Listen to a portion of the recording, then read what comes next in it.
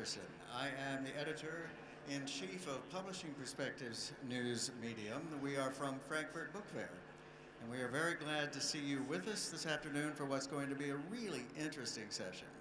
Uh, we have a chance to talk about uh, Arabic literature in a way that we don't always have, particularly in the West, which is one reason I'm so excited about this conversation. We have three terrific people with us. Uh, seated right next to me is Jessica Papin from the literary agency Distel. We are very pleased. Distel, Goodrich, and Bourret. I always forget your full name. and then also with us is Ahmed Rashad in the center there. He is the CEO of Al Dar Al Mazria Al Lubaniya and uh, has a great deal to tell us as a publisher of enormous experience. If you were with us in the last session, you saw his father, Mohammed Rashad. So we are now doing intergenerational panels here during the afternoon. It's good to see this happening. And then on the far side there uh, with us is Ali Abdel Munim Ahmed, who has a very interesting new project going on in connection with Bookwire out of Germany, a distributor. Uh, he is working to distribute electronic copies of Arabic literature to the world, and he'll be telling us about that. Ali is a distributor, and he's going to be speaking to us from his experience in that part of the business. What we're going to do first is ask each of our speakers to give us a few lines about themselves so that you understand the background they have in their careers that brings them to how we're speaking today and what we're looking for as we talk to them. And then we will start talking to them about genre, because I will tell you something interesting. In the West, when we hear about Arabic literature, so often what we're hearing about is academic uh, literature. So much wonderful work is being done in the halls of ivy, as we say. Um, and it has marvelous, of course, grant material behind it, which helps makes those translations happen and brings to us some of the best work of the Arab world. But we often don't know what everybody's reading on the Arab street. We just don't know what's being read on the ground. And this is a terrible problem for publishers who need to know because we want to work with the readers of the Arabic region and the Arab world. So we will first start then uh, with Jessica. I'll ask you, if you will, please, Jessica, to give us a few words about your background and how you come to be with us this afternoon. And then we'll take each of our friends, Ahmed and Ali, and then we'll begin talking about their perceptions of the genre issue here. So, Jessica. Yes, I'm so delighted to be here this afternoon. Uh, my name is Jessica Papan. I'm a literary agent uh, with Distal, Goddard, and Bourret in New York City. And I began my publishing career as an acquisitions editor at a New York publishing house called Warner Books, which is now Grand Central. Uh, and I spent a number of years there before becoming a literary agent. And soon after I began my career as a literary agent, um, I had the opportunity to go and work at the American University in Cairo Press in Egypt, where I was fortunate enough to um, handle their foreign rights, which meant selling works in translation. So selling Arabic literature in translation and a gorgeous cherry-picked list of remarkably talented writers beginning, of course, with the Nobel laureate Naguib Mahfouz. Uh, I worked on selling Ala Al Aswani's Yacubian Building, Chicago, um, uh, as well as actually numerous writers, um, Iraqi writer Batul Khadari, Khadari, uh, Fadil Al-Azawi, um, actually, and, and really dozens of, of very talented writers. And unfortunately, though I don't read Arabic, I had access to really superb translations and the ability to um, to kind of read my way across a hugely talented group of, of writers. Um, after I left AUC and moved back to New York City, I rejoined Distal Goddard and Bourret. And since then, my list has had, uh, the, or the books that I sell to American and, and UK publishing houses um, is, is often significantly literature that engages the Arab world. Sometimes it's literature in translation, sometimes it's books written by Arab Americans, sometimes it is um, works that sort of reflect uh, history and culture. But uh, it has been life-changing, I think, in my in my career, um, and it's been a real pleasure and privilege. Um, and so, I guess I'm 25 years into book publishing, and um, I'm still delighted to learn. 25 years, congratulations. That's fantastic. Ahmed, speak to us a little bit about your background and the publishing you've been doing. Uh, first of all, thank you, Porter. Absolutely. Uh, I would prefer to speak in Arabic since we're an, an Arabic book fair. Absolutely. Uh, I should tell our audience that headsets, headsets are available. Translation is happening. We have wonderful interpretation. So if you need it, both sides will help you. Thanks, Okay. Ahmed.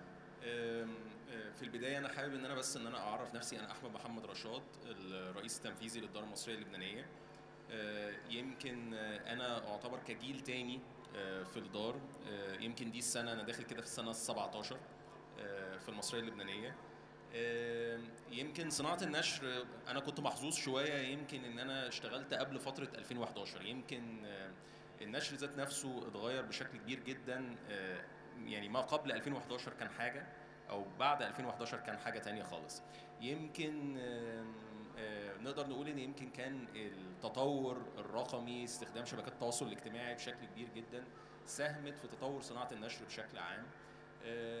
يمكن أنا كنت كجيل تاني كنت حابب ان النشر كصناعة يبقى مرتبط بشكل أكبر شوية بالقارئ ما يبقاش مرتبط كان يمكن قبل 2011 مرتبط بشغل جهات مؤسسات آه، معارض آه، ديلز كبيرة تتعمل. أنا كنت حابب أكتر إن آه، يحصل يكون في علاقة ما بيني كدار نشر وما بين ال- القارئ ذات نفسه. آه، يمكن من بعد 2011 ابتدى ظهر آه، عدد كبير جدا من من دور النشر الشباب اللي أنا لحد النهارده بقول آه زي ما إحنا بنقول إن يمكن في في بعض الأحيان بيبقى في دخلاء على المهنة بس في نفس الوقت في عدد كبير جدا من الناشرين ساهموا في تطور صناعة النشر دور نشر كتير جدا. آه، إحنا معانا يمكن الاستاذ أحمد بدير آه، دار العين إحنا عدد كبير جدا دار العربي دور كتير جدا طورت من شغلها نتيجة لوجود الشباب دولت. يمكن أنا النهارده بعتبر إن صناعة النشر لو إحنا بنتكلم على الوقت اللي إحنا فيه ده دلوقتي أنا بعتبر الكتاب آه آه، إحنا بنقدم المفروض المفروض أي دار نشر يبقى عندها مشروع ثقافي بس في النهاية الكتاب سلعة. يمكن إحنا مش منتبهين للموضوع ده لحد النهارده. آه، آليات كتير جدا عدد كبير جدا من الناشرين ما بيستخدموهاش كتطوير آه، للسوق. في نفس الوقت يمكن عدد كبير جدا ما بيتعاملش مع الناشر النهارده أو النشر آسف بشكل عام إن هو صناعة محتوى. آه، عمر ما ال- ال- النشر آه، اللي هو التقليدي اللي هو البيع من خلال بعض المعارض أو آه، آه، بيع لبعض المؤسسات أو الجهات هو ده اللي ممكن يحقق نتيجة. آه، يمكن إحنا مركزين بشكل كبير جدا على فكرة صناعة المحتوى. صناعة المحتوى ده ممكن المحتوى ممكن يخرج ككتاب ورقي يخرج كتاب آه، إلكتروني كتاب صوتي آه، ممكن يخرج دراما وممكن ترجمة. آه، ويمكن آه، موضوعنا الأساسي يمكن هو حركة الترجمة يمكن خلال ال- الخمس ست سنين اللي فاتوا آه، إحنا كمصرية لبنانية اتطور عندنا بشكل كبير جدا فكرة بيع الحقوق. ما زال عندنا آه، عائق بشكل كبير جدا فكرة دعم بيع اللغة ال- الكتب اللي باللغة العربية للغات الأخرى. لأن كل اللغات في الدنيا يمكن ليها برامج دعم يمكن اللغة العربية برامج الدعم اللي فيها يمكن قليلة يمكن بيقدم الفرصة دي. معرض زي معرض ابو ظبي أو معرض الشارقه بس برضه هيكون في الآخر الموضوع مش معمم لو في دعم مؤسسات كبيرة بتدعم آه، اللغة ذات نفسها آه، بالنسبة للغة العربية أعتقد ممكن يحصل حركة ترجمة ويحصل توسع في بيع الحقوق من اللغة العربية للغات الأخرى شكرا Absolutely.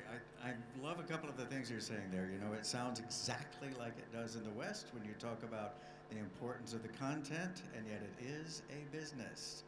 And we must all remember that because only can, when we know it's a business can we support our authors. Sometimes the authors are the last ones to understand this, but it is true, right? And one of the things that I'm so glad we're being presented today by the Sheikh Zayed Book Award is because they are indeed working with translation to move material out of the Arab world into the rest of the populations around the world and into so many cultures. This is a great thing with translation grant support so that funding is available for the material that they are able to give the award to, which is, of course is at the very highest standard. And so when the Sheikh Zayed Award says, this is the best that we have in this category, buyers around the world are interested because they're being supported when they translated it into their cultures. And this is exciting for our publishers, it's exciting for our readers, and it's exciting for our authors. And this is a great thing to see happening. We need more of it to happen. More of these programs, yes. So now, Ali, will you speak to us for a minute? في البداية آه، حابب أشكرك بورتر على ال- اهتمامكم الشديد ب- بالأدب العربي آه، ومحاولة آه، توصيل صوتنا لل- للعالم من حولنا يعني آه، في البداية اسمي علي عبد المنعم آه، أنا حاصل على آه، بكالوريوس فنون تطبيقية في تخصص آه، هندسة التصميمات الصناعية mainly في الطباعة والنشر والتغليف. خبرتي العملية 23 سنة في, كلها related في مجال الطباعة والنشر. كنت المدير ال- الخبرة السابقة في آخر سبع سنين يعني كنت مدير الاستحواذ والنشر في Storytel وعضو مجلس إدارة في اتحاد الناشرين المصريين سابق والوظيفة الحالية يعني آه، المدير التنفيذي والشريك المؤسس لشركة Arabookverse آه، دي في المملكة المتحدة. إحنا أسسنا Arabookverse آه، تحديدا آه، للتغل محاولة السعي للتغلب على أهم المشكلات اللي بتواجه صناعة النشر في الوطن العربي اللي هي أهمها ال- التوزيع ال distribution سواء كان للكتاب الورقي أو للكتاب الإلكتروني أو للكتاب الصوتي. دي من أكبر التحديات اللي بتقابلنا في المنطقة العربية. مفيش مكتبات حتى في مفيش مكتبات كافية لل- للكتب الورقية. وبالتالي مفيش على الرغم من انتشار الإنترنت والزيادة المطردة في عدد ال user والمستخدمين برضو ما فيش المنصات العربية الكافية لإتاحة المحتوى الكترونيا لعدد قليل جدا. آه، فكان لازم مع كمان ظهور الأزمة العالمية الاقتصادية الحالية فشوية الاستثمارات الأجنبية ابتدت يعني بعد ما كانت في آخر خمس سنين آه، تيجي المنطقة ويبقى في استثمارات أجنبية في صناعة النشر وصناعة المحتوى ابتدت تقل شوية وده منطقي في الظروف الحالية. ففكرنا ليه إحنا ما نروحش بالمحتوى العربي للمنصات العالمية بره نوفره بشكل كويس هنتغلب على مشكلة الإتاحة. مشكلة الإتاحة دي لو الكتب بقت متاحة في منصات تراستد منصات ثقة بالتبعية هنقلل بنسبة كبيرة فرص القرصنة للمقرصنين فهتظهر الكتب ال- الشرعية أو الكتب الرسمية ال- ال- ال- السليمة مش مش أي حاجة تاني. هتبدأ تدخل مردود أكبر للناشرين والمؤلفين صانعي المحتوى. فده كان ال- ال- الهدف الرئيسي. الحمد لله ربنا وفقنا بعد مفاوضات طويلة مع Bookwire Bookwire هو أحد أحد أكبر موزعين الكتب في العالم يعني أو المحتوى الرقمي. وهي آه، technology ألمانية حاجة trusted يعني وعندهم الخبرة الكافية. فيعني هيبقى جزء مهم جدا لينا كمحتوى عربي إن إحنا نبقى موجودين ضمن المكتبة دي في حول العالم يعني هو بيشتغلوا بشكل مباشر في تسع دول منهم السوق الأمريكي والسوق الأوروبي والسوق في, في, أمريكا اللاتينية فيعني نأمل إن شاء الله إن يبقى ال- التجربة دي ثرية لصناعة المحتوى العربي وإن إحنا نقدر نوصل بيه لأبعد مدى يعني I understand what you're saying. I'm, I'm very happy to hear that you're working with Bookwire. We know them very well at Publishing Perspectives. In fact, they are based in Frankfurt, as, as is our, our um, owner of Frankfurt Book Fair. And they're a wonderful, um, expansive organization. They're now working very thoroughly in the Latin American markets. Um, they're moving offshore more and more all the time, and they really are very aggressive. And I think this is going to be helpful to the dissemination of Arabic material as Ali provides more and more of it to them Since you're such a new company, Ali, I think formed just earlier this year, correct? It's quite yes new. Yeah. yes May Last I ask January. quickly before we go any farther, what have you found to be the most difficult part of setting up this new company of yours? What was the trickiest part? ليه؟ آه، الرغبة آه، عند كتير من الناشرين في التحول الرقمي يعني إحنا عدد الناشرين العرب كتير آه، بس ال- الرغبة في إن العدد ده بقى النسبة قد إيه منه اللي ممكن عندها الرغبة والإرادة إن هي تتحول رقميا آه، بشكل منظم بشكل استراتيجي بشكل فيه صبر على السوق المحتمل دوت ما يكونش فيه تسرع في جني الأرباح. آه، ده يعتبر أكبر تحدي بالنسبة لنا هنا. وكانت النقطة الثانية التحدي الثاني هو إيجاد شريك ثقة يعني شريك نثق فيه نثق إن اللي يبقى التعامل معاه سواء الحفاظ على المحتوى الاهتمام بتسويقه آه، الاهتمام بالعائدات فكان دول التحديين الأكبر يعني Very interesting. This makes perfect sense too.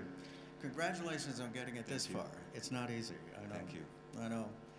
Now, we, we have the pleasure of asking each of our guests to tell us a little bit about their top of mind concepts of genre in the Arab world and where that sits as opposed to, for example, academic material, as we were talking. Could we start with you again, Jessica, and tell us what comes first to your mind? I've, I've put it to the panelists this way I've said if I walked up to you in an airport, being the reporter I am, taking my pictures, running around with my microphone, and said, What's the main thing you think about when you hear genre in the Arab world? What would it be? What would you tell me?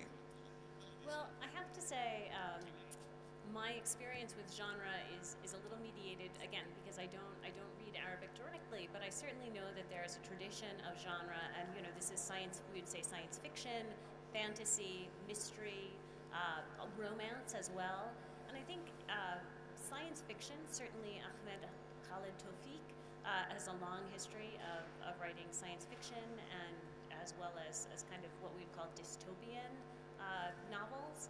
And I think as well, there is a tradition of magical realism. Um, and in the US, some people would call that fantasy publishing. And I think that that in particular is something that works. In my, my perspective is as someone who sells work from the Arab world into translation to the US, into the UK, and, and more broadly uh, around the world.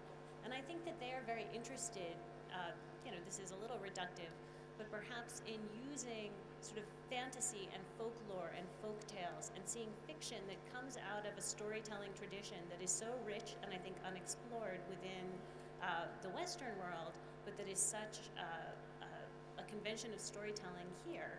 And I think that there is both interest in um, in books that sort of plumb those those traditional and and folkloric uh, storytelling traditions, but I think too uh, American publishers and UK publishers are quite familiar with the tropes of, say, detective fiction, for example, or murder mysteries, and books that are sort of uh, that become ways of exploring a society, sometimes through the seamy underbelly or through sort of crime, become a greater kind of social commentary, but packaged in a way and in a, the form of a story that feels familiar, I think, to um, you know to, to global readers.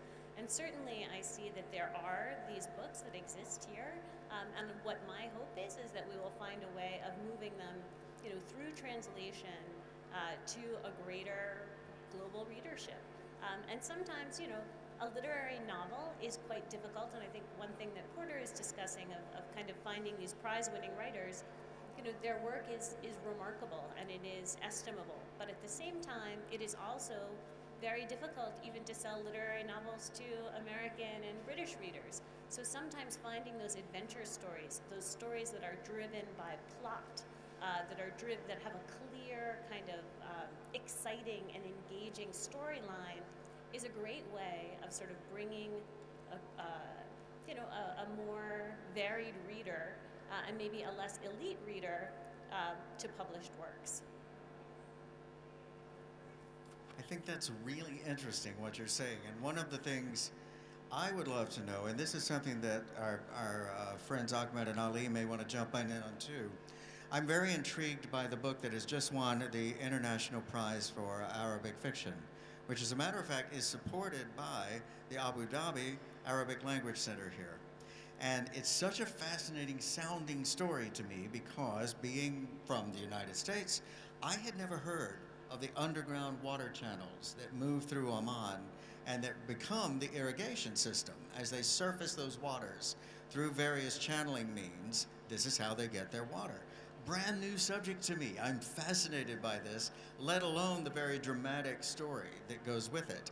What I would like to know from, from our friends is in the Arab world, how well aware is the rest of the Arabic speaking population to Aman's work? Would they know, the, the author is Zahran Al Kazmi. Would they know Zahran's work? Would they be familiar with it? Or would this come as a complete surprise to them as it comes as a complete surprise to me? What do you think, Ahmed?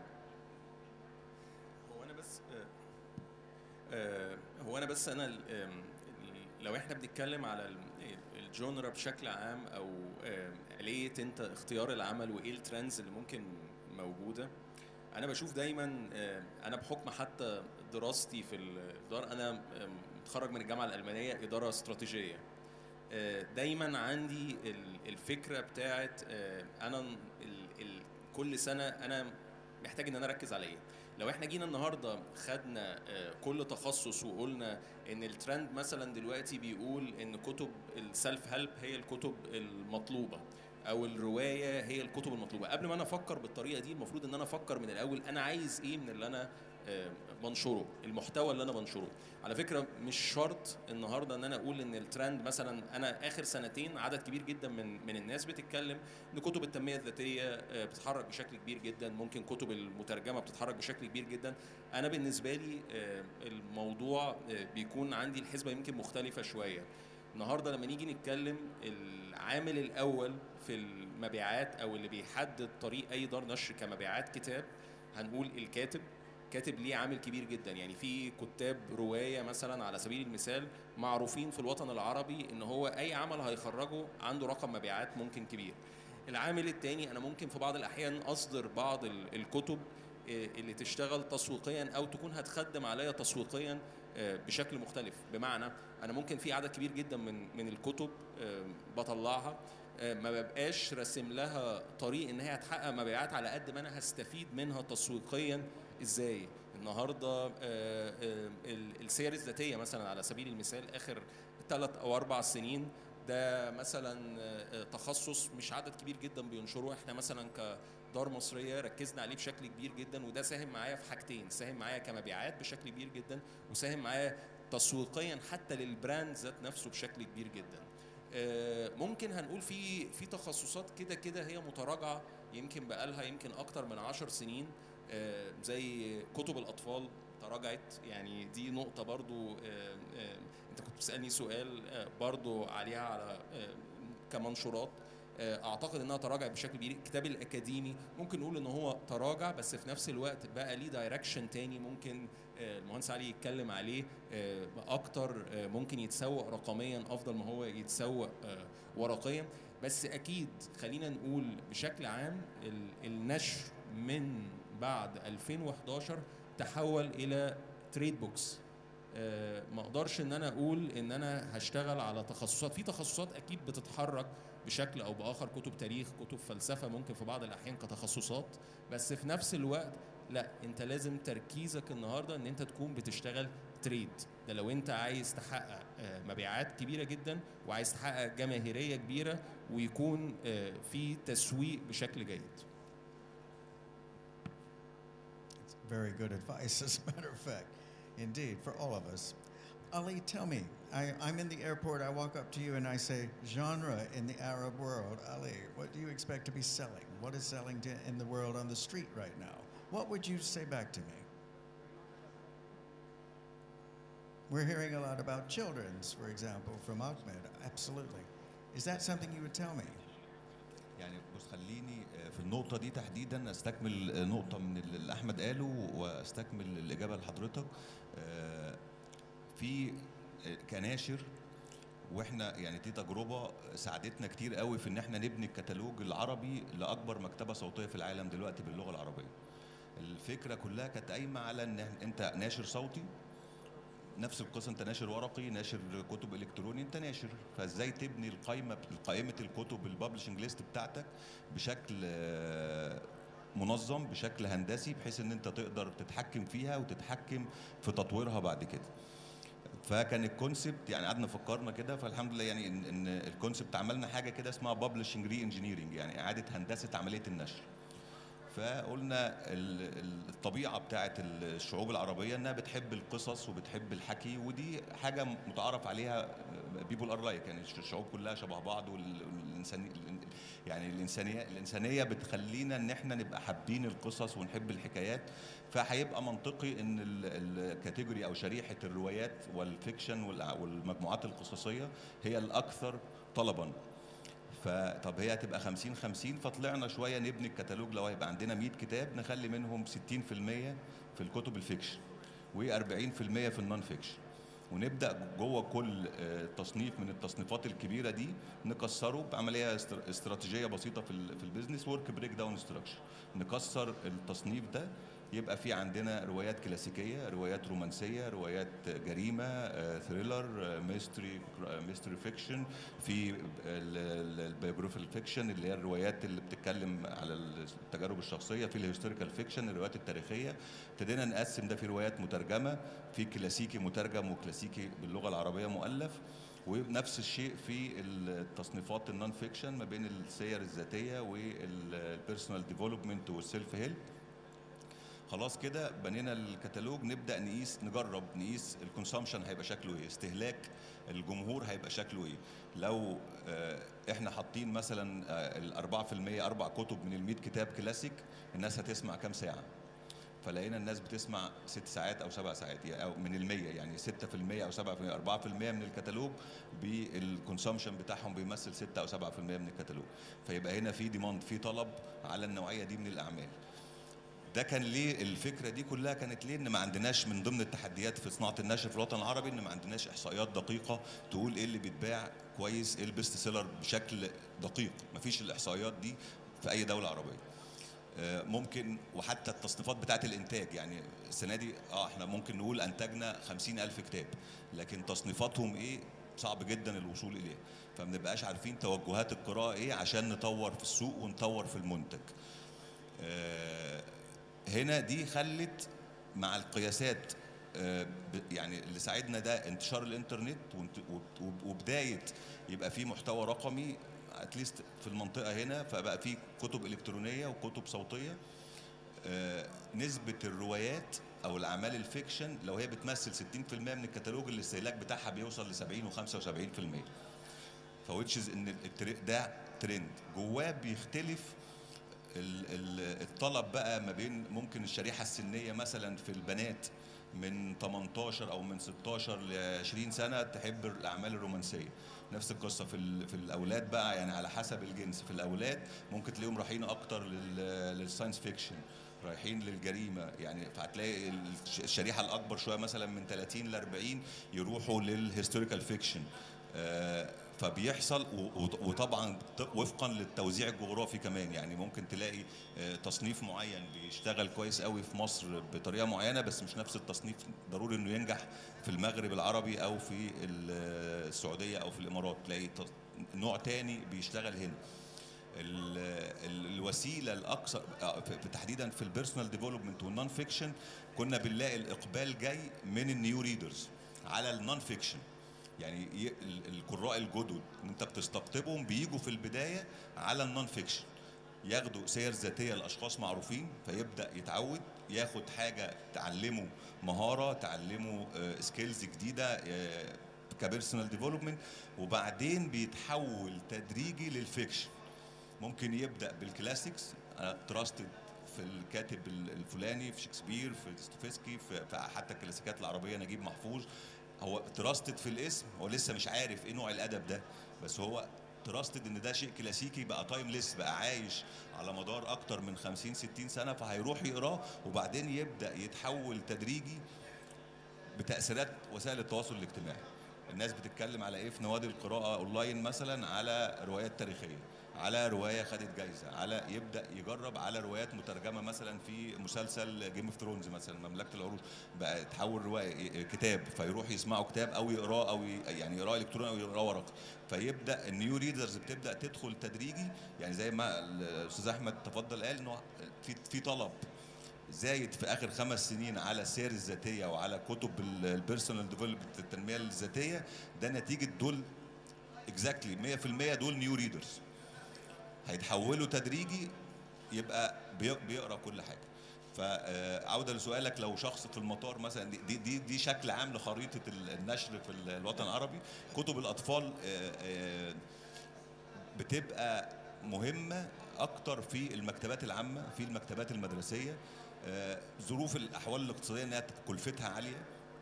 ما بين رسومات ما بين الاستليتورز ما بين التأليف جودة المنتج نفسه مع الأزمة الاقتصادية اللي بنعاني منها كلنا في المنطقة هنا في تكلفة الإنتاج مع تسعيرها آه، بيبقى غالي شوية على الناس فالطلب قل لكن تزويد المكتبات موجود الاهتمام بيها في المكتبات المدرسية هيبقى موجود ده ده ده مهم جدا يعني آه، أنا ممكن بس. Yes, please. آه، أنا بس ممكن بس عندي تعليق في نقطة قالها الباشمهندس علي مهمة جدا. آه، يمكن آه، إحنا دايما بنقول إن ال reading habit اتغيرت من بعد 2011 نتيجة لاستخدام ال social media بشكل كبير جدا. بس أنا ممكن أقول لك إن في مراحل علشان يعني ال genres تطورت بشكل أكبر بقت أوسع شوية. خلال ال- الخمس ست سنين اللي فاتوا بسبب الجيل اللي طلع. يعني في البداية خالص كانت يمكن من 2011 ليمكن 2014 2015 كان ال reading habit معظمه إحنا بنتكلم في الروايات بشكل عام وكان يمكن كل يوم بيطلع كتاب آه، آه، لأي دار نشر. وكان يمكن عدد كبير جدا من الإصدارات كان موجود وكانت في آه، انتقادات موجودة بشكل كبير جدا للناس اللي هي بتعرف تقيم الكتاب بشكل عام والنقاد وناس كتير جدا كانوا شايفين إن دي حاجة ظاهرة مش صحية. أنا كنت بشوف واحد من الناس ك... ك... كناشر لأ إن دي ظاهرة صحية لأن أنت لما هيبقى في ريدنج هابت في الآخر القارئ هيقدر إن هو يفرز ما بين الكتاب الجيد والكتاب ال... ال... اللي مش جيد. إحنا مثلا كان عندنا مثلا ك ك كدار مصرية أه، اهتمينا اهتمام مختلف. لما حسينا إن في التطور ده قلنا طيب أنا لازم أكون جاهز كناشر أه، إيه ال next step اللي ممكن تكون موجودة؟ فمثلا في الوقت ده إحنا طلعنا مثلا classics عندنا مشروع بقاله يمكن أكتر من 10 11 سنة. بيطلع منه سبع ثمان عناوين كل سنة. في كلاسيكس العربية الكتب اللي هي مر عليها أكتر من 50 سنة. فده مثلا كان جزء من من الموضوع ابتدى يمكن في 2018 2019 ابتدى عدد كبير جدا مثلا من الناشرين التانيين ابتدوا يتجهوا إلى الترجمة. يمكن إحنا هنشوف آخر سنتين ثلاث سنين عدد كبير جدا من دور النشر خصوصا في مجال ال self-help وحتى في ال fiction مع ال ال ال ال ال الكتاب الأكثر مبيعا في العالم. ابتدى عدد كبير جدا من الناشرين يتجهوا للترند ده. ليه كله اتجه لل- للمنطقة دي؟ لأن ابتدى آه، يبقى فيه عدد قراء قدروا إن هم يفرزوا آه، ال- ال- الكتب اللي موجودة. عشان كده اللي استمر ككتاب كويسين خلال ال- العشر سنين اللي فاتوا عدد قليل جدا. في كتاب ظهروا بعد 2011 مثلا في عالمنا العربي النهارده ما لهمش وجود. وبالمناسبة كتاب ممكن خدوا جوائز في بعض الأحيان ما تسمعش عنهم وخدوا ممكن يعني مع احترامي الشديد حتى لجائزة البوكر. ممكن في بعض الأحيان تسأل عليهم النهارده هم ما لهمش آه، وجود. فأنا شايف إن يمكن التطور اللي حصل في آخر عشر سنين ده خلى عدد كبير جدا من القراء وخلق جيل جديد بيقرأ كتب وده ساهم في حركة تطور صناعة النشر بالنسبة لحتى آه، دور النشر زي ما أنا ذكرت قبل كده دور النشر القديمة أو الجديدة. السوق بيعاني السوق فيه مشاكل بس ما زال آه، في حركة موجودة على سوق للكتاب اللي قادر يفرض نفسه. It's fascinating because you're talking about permutations of, of it through the population, where in fact, as you're saying, the persistent love of the book is there, and yet look at the transformations going on. I, I think one of the most interesting parts of what we're hearing too it uh, compares to the English language world in one way. When we look at the United Kingdom, they will tell you their favorite genre is mystery, always. If you go across the ocean and you talk to the United States, they will tell you, no, no, no, romance. That's what we want to read, always. And yet, when we look at the Arab world, what is there, 27 or 29 cultures contained within it, at least within the national boundaries? There are so many different, as you're saying, permutations, let alone the time changes that are happening with something like social media. These forces are incredible. Jessica, when you were working in uh, at the university, for example, in Cairo, were you seeing this kind of time pattern change across what was interesting to the readers around you? Were you unable to see this in the population as you worked with the literature? Um, I'm not sure that I was able to do some some of the titles that I was working with had been previously published. So you know, anytime you work in translation, you work at a little bit of a time remove from the time a, a book is initially published. You know, to great acclaim, often you know within the the Arab world. But one thing that I found very useful was sort of collecting, um, and this is something that I that I chat with with colleagues as well, of collecting sort of the critical reception at the time, right? Of sort of finding, you know, those um, those excellent reviews that come in Arabic and then translating them and making them available to the publishers so that they could understand not only sort of how that book, you know, sort of functioned and what it was about, but also the context of sort of how it functioned within the culture, within the moment, you know, why it was important uh, in Egypt at the time, why it was sort of a phenomenon across the, the Arab world, why it spoke to its particular moment, uh, its only national, its national context, uh, or maybe an international context. So for me, it was less temporal. It was less about the, the moment in time or, you know, or shifting um, reading patterns because I don't, I don't know that I'm qualified to sort of make those kind of large sweeping generalizations. But what I did see in terms of submitting to um, houses all around the world who were translating out of Arabic was a real interest in, um, in storytelling and in sort of uh, in finding narratives that were both I think culturally specific enough that there was some sort of sense of difference. So I would hear from, you know, publishers are very business driven and they would say, well, if I wanted a novel about a divorcee sort of, you know, thinking about her divorce on a couch and kind of, you know, a very internal novel, we could have someone who is writing that in English.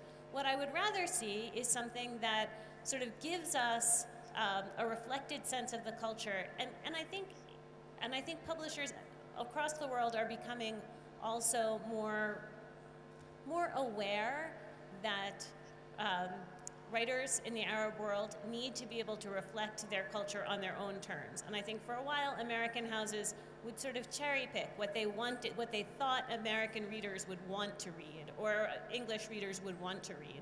And I think that there are publishing houses now that are dedicated to translation, that are looking quite carefully and quite hard to find um, stories and to find voices uh, that are are kind of universal, that speak to literature, that speak to storytelling, but not in a way that is um, kind of culturally overdetermined, right?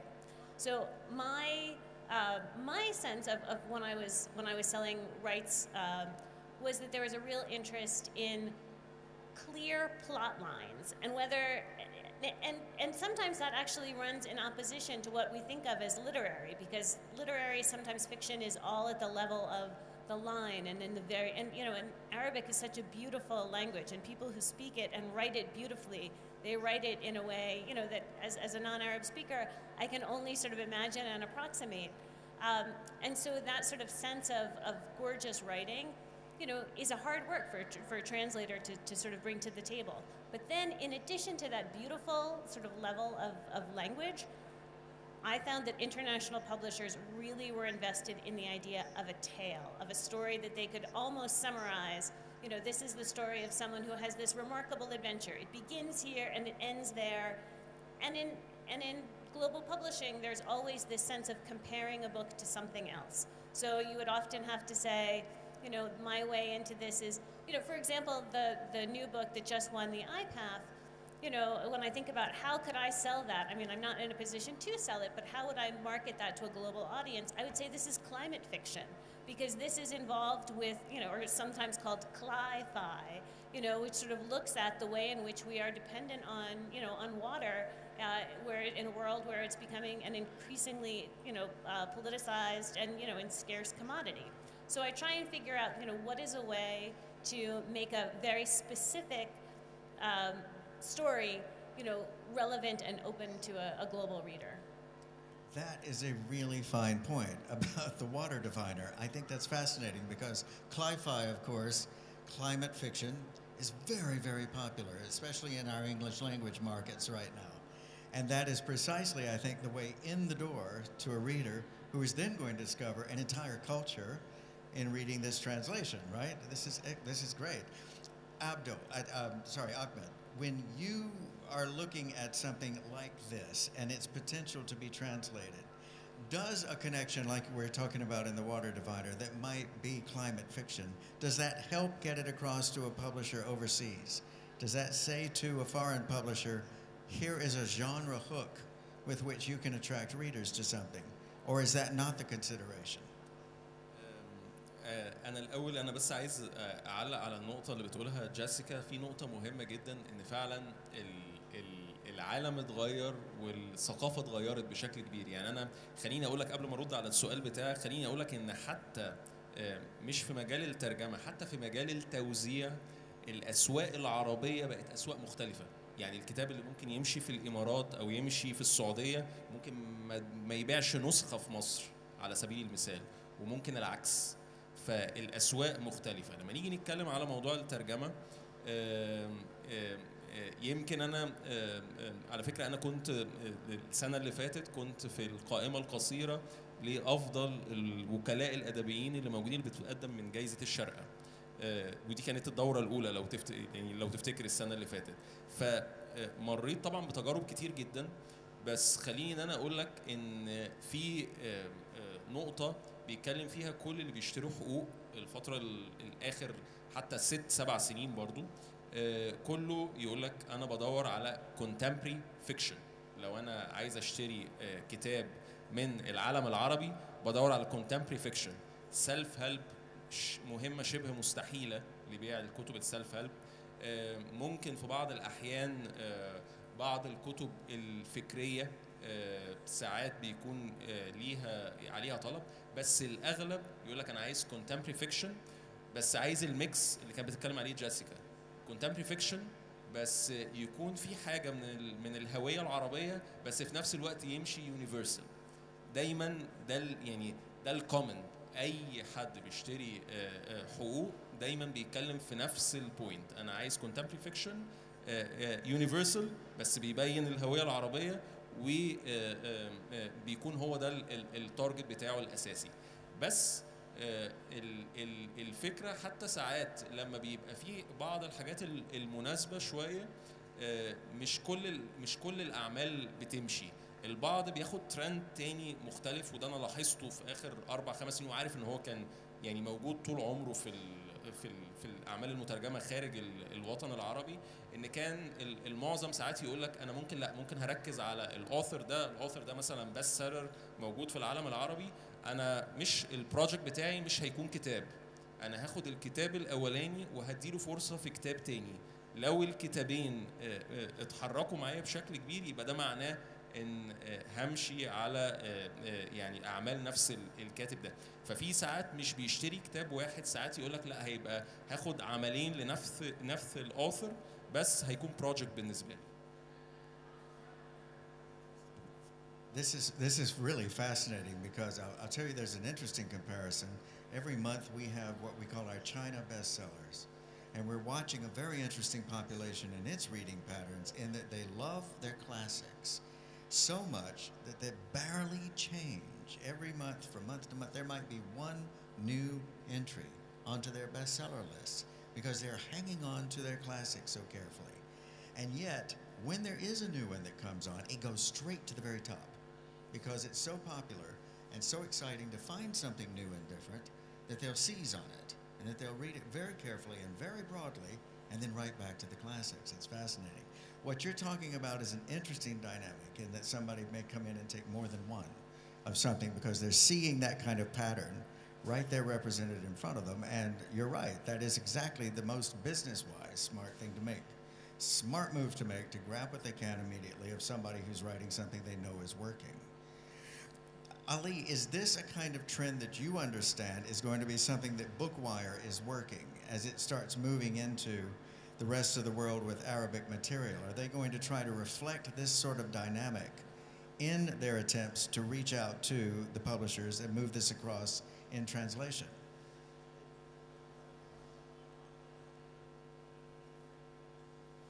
بالنسبه لدوت يا بورتر ال- حي- بيقابل ده تحديات يعني بيقابلنا في ده تحديات سواء من والى في- للأدب المترجم أو للمحتوى المترجم من وإلى العربية ثلاث تحديات. هما اللي بيبقوا مقياس أي الثلاث عوامل اللي هيحددوا نجاح أي عمل من دول. ال- اللغة والثقافة والتسويق ال marketing يعني language culture marketing الثلاث. الثلاث عناصر دول يحددوا نجاح أي موضوع. ال- المشاكل اللغة مثلا في النقل ده أو التحدي دوت آه، اختيار مترجم واختيار محرر. لو اخترنا المترجم كويس لازم المترجم ده يكون على ثقافة كبيرة جدا من اللغتين اللغة اللي, بيترجم منها واللي بيترجم إليها. والعلاقة ما بين الناشر والمؤلف في ثقة مفيش ثقة لازم يثق فيه لازم ي... ي... ي... الناشر يتقبل الأفكار الجديدة اللي ممكن تدخل في كلمات جديدة ما يبقاش متمسك بالترجمة الحرفية أو بالمعنى الحرفي لده. لازم نعتمد على وجود محرر. المحرر جنب إن هو يبقى فاهم العلاقة ما بين اللغتين كمان لازم يبقى فاهم ثقافة المتلقي يعني ثقافة الجمهور اللي رايح له الكونتنت ده. مش إن هو نختار كتاب بس وخلاص يعني حتى لو الكتاب بيبيع كويس أو الكتاب موضوعه كويس لأ عناصر نجاح الكتاب مش في العنوان بس أو مش في الجينر بس أو مش في الكاتيجوري بس في العناصر دي طيب هل الكتاب ده اتكلم أو الكاتب ده اتكلم بال... وكمان المحرر مهم جدا يكون واصل له الهدف من. ال... الهدف اللي المؤلف عايز يوصله للجمهور لازم النقطة دي تبقى واضحة جدا وأنا وأنا بختار الكتاب.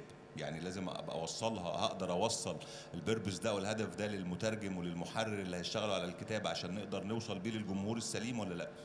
طب هل الكاتب هنا الكتاب ده موائم للثقافة بتاعتي أنا كمتلقي أو كمجتمع أو ك segmentation الشريحة دي؟ ممكن يبقى الكتاب ثقافته مش ملائمة خالص للثقافة بتاعت المنطقة اللي انت هتترجم فيها وده بيبقى نقطة أكثر أهمية.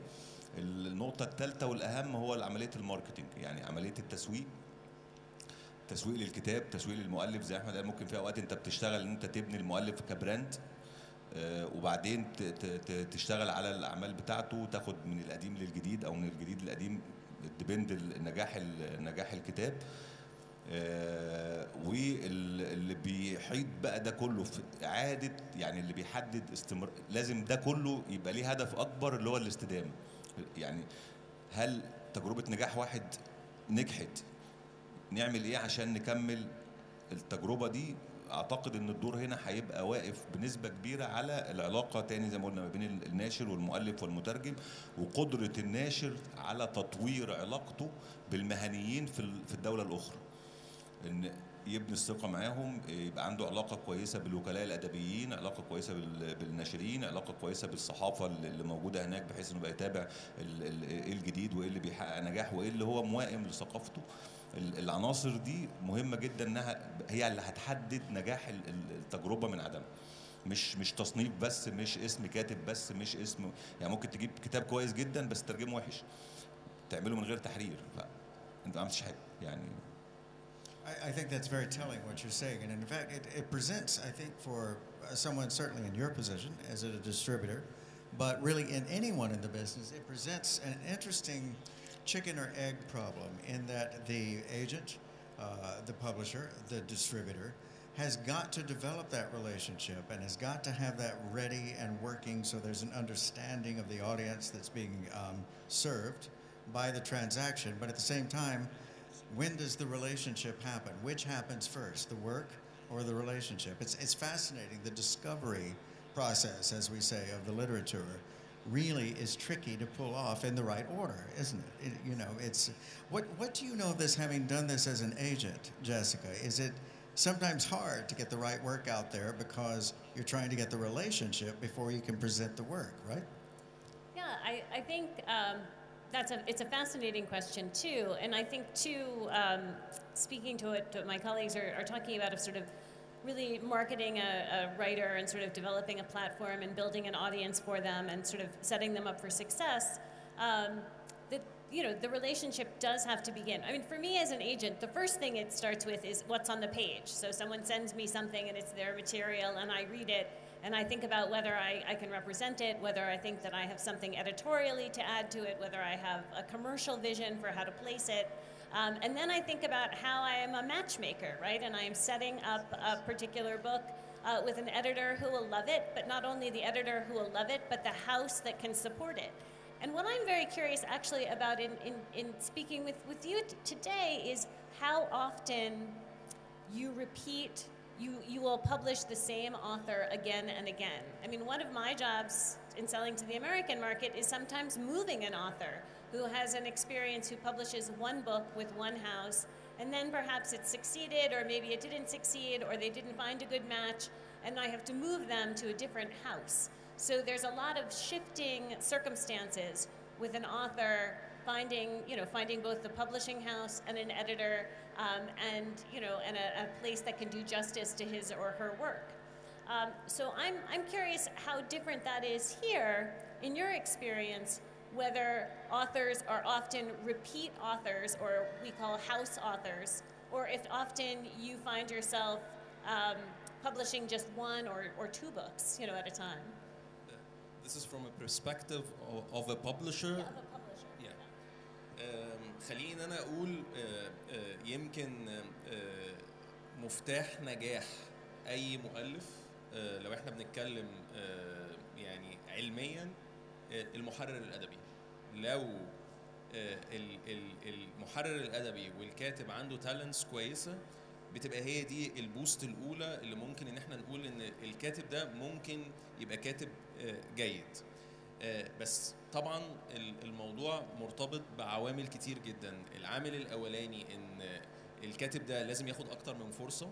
آه، أنا بشوف إن آه، عمرك ما تقدر تحكم على كاتب من فرصة أولى إلا طبعا لو أنت بت hunt كاتب آه، يعني كاتب already هو best seller أو already كاتب هو معروف. ده موضوع مختلف. بس أنا النهارده لو بدي فرصة آه، لكاتب آه، كويس وعندي محرر آه، جيد يشتغل معاه لازم اديله من فرصتين لثلاث فرص. بس during الفرصتين أو الثلاث فرص دولت لازم أحط عوامل تانية معاهم.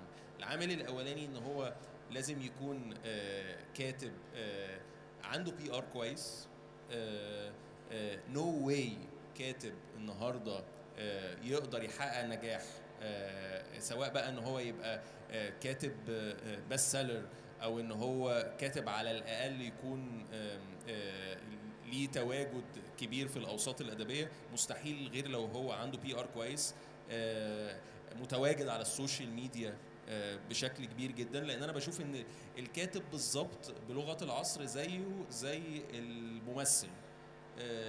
لازم يكون آه، عنده آه، تواجد على ال social media لازم يكون عنده علاقة بالقراء عنده بشكل آه، كويس. لو هو ما بيعملش شغله حتى لو هو أعظم كاتب في العالم النهارده في 2023 لا يمكن يحقق أي آه، نجاح. فبالنسبة لي آه، بدي أكتر من فرصة بس خلال الفرص دي لازم بيكون حكمي برضو على الموضوع. ممكن على فكرة في بعض الأحيان آه، آه، أنشر مع كاتب عمل واحد وأكون شايف إن هو عامل كويس وأديله الروشتة دي بس في نفس الوقت آه، ألاقيه هو ما بيستجبش فممكن ما أجربش معاه بالعمل التاني فالكاتب عليه آه، دور ما يقلش النهارده عن دور الناشر This is great. And uh, unfortunately, we've run out of time too. And I feel like I, we're just getting to a point I would like to have gone for another hour here. but this, I'm so glad that you brought up the importance of the editor too. It's just absolutely crucial in any kind of work to make sure that exactly the quality you're talking of drawing out of the author is in place and is given its best shot to reach the public. I want to thank all of you. Ali, Ahmed, Jessica, thank you. You've been a wonderful set of panelists. It's been a great conversation. Thank you all who have been here. It's great to see you here with us. And thanks to the Sheikh Zayed Book Award for having us. It's wonderful to have brought us all together this afternoon. Enjoy the rest of the fair. It's great to see you.